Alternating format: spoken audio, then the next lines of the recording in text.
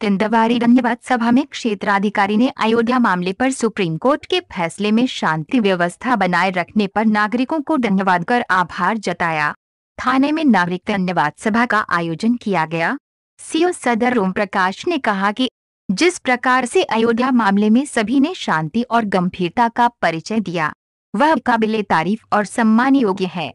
उपस्थित लोगों ने भी पुलिस प्रशासन को धन्यवाद देते हुए कहा, फैसले के पूर्व ही पुलिस प्रशासन ने लोगों को जागरूक करने के साथ साथ व्यवस्था भी चुस्त दुरुस्त रखी, तभी सब संभव हुआ है। सीओ सदर ओम प्रकाश ने कहा कि आगे भी कोर्ट के तीन महत्वपूर्ण फैसले आने हैं।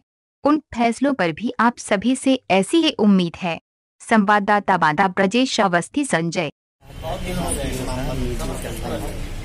हमारी पीढ़ियाँ पीछे हम तो देख लिए तीस साल। ये के लिए वाकई में सराहनीय कार्य है सबका। ठीक।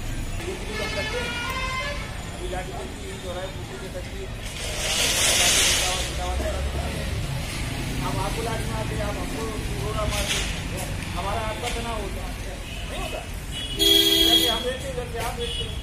महिला की इस तरह की कोई कहीं त्रुटि हो पुलिस से कोई आपकी सुझाव हो वो हम लोग स्वीकार करेंगे कोई आपका सुझाव हो इस तरह का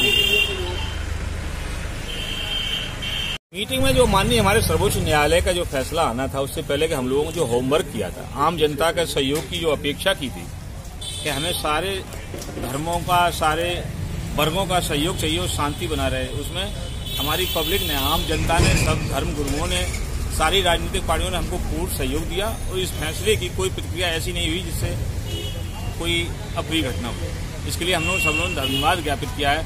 सबका आभार व्यक्त किया है कि सहयोग के लिए। और आगे आने वाली कोई आवश्यकता पड़ने पर सबसे प्रार्थनीय है कि ऐसा सहयोग हमको मिलता है